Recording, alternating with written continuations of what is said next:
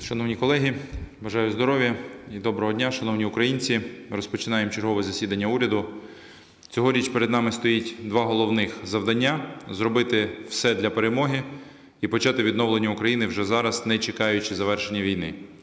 Ми визначили головні проекти та галузі швидкої відбудови, мобілізуємо ресурси, залучаємо міжнародних партнерів. Зокрема, сьогодні ЄС перерахував Україні черговий транш макрофінансової допомоги розміром 1,5 мільярди євро. Ми також створили необхідну інфраструктуру та визначили відповідальні команди. Для нас важливо, аби українці вже цього року побачили, що відбудова це реальність, це дає надію і віру в краще майбутнє. План швидкого відновлення на цей рік має 5 пріоритетів. Насправді ж це сотні різних проєктів, сотні міст та селищ, де відновлення відбуватиметься однозначно. План швидкого відновлення на цей рік має 5 пріоритетів. Один з основних принципів це «Build back better», тобто відбудувати краще ніж було.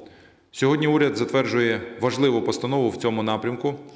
Визначаємо шість населених пунктів, де відбудова проходитиме комплексно і за новими принципами: це Бородянка та Мощун в Київській області, Тростянець у Сумській області, Посад Покровське у Херсонській області, Циркуни в Харківській області та Ягідне в Чернігівській області. Усі ці населені пункти зазнали страшних руйнувань. Тепер вони будуть відновлюватись комплексно. Це означає, що будуть відбудовувати не окремі будівлі та споруди, а все зі системним підходом, новим плануванням та повною трансформацією цих населених пунктів.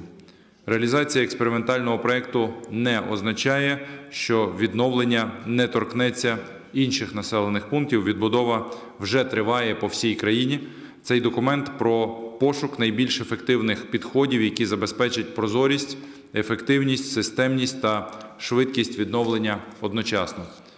Друге рішення на порядку денному, яке спрямоване на відновлення України, постанова про створення міжвідомчої робочої групи, яка розглядатиме питання виділення коштів з фонду ліквідації наслідків збройної агресії Росії. Це фонд, через який уряд фінансує основні проекти відновлення.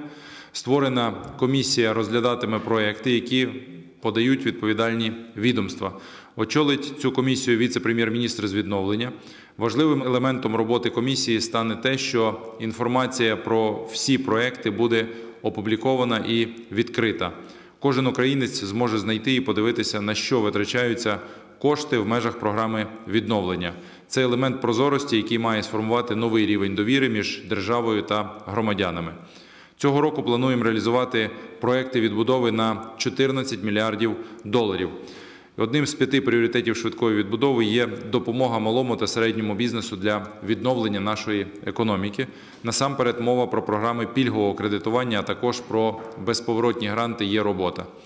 Ми також активізуємо роботу експортно-кредитного агентства. Хочемо, аби якомога більше українських бізнесів експортували свою продукцію за кордон. Більше того, ми бачимо, що запит від бізнесу існує, але багатьом підприємствам не вистачає ресурсів і потрібна державна підтримка. Тому сьогодні ухвалимо постанову, яка посилить експортно-кредитне агентство.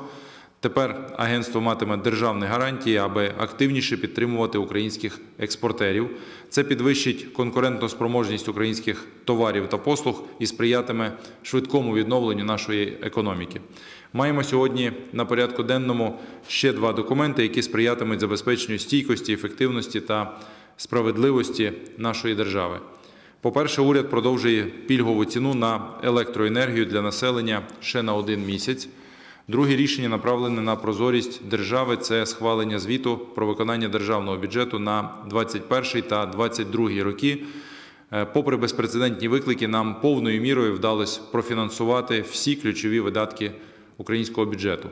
У 2022 році ми збільшили видатки на оборону нашої країни в 9 разів порівняно з 2021 роком. У 2,5 рази збільшились видатки на безпеку. На 25% збільшили видатки на соціальний захист населення, на 8% на охорону здоров'я. Завдяки програмі є підтримка 4,8 мільйона українців отримали по 6,5 тисяч гривень одноразової виплати. За час вторгнення український бізнес отримав більше 100 мільярдів гривень пільгових кредитів. Нам вдалося не допустити шаленої девальвації гривні та галопуючої інфляції. Наша економіка втрималась на плаву. Тепер важливо, аби вже цього року ми побачили її відновлення. Будемо робити для цього все необхідне. Починаємо відновлення, запускаємо зміни та реформи, рухаємося швидкими темпами до членства в ЄС.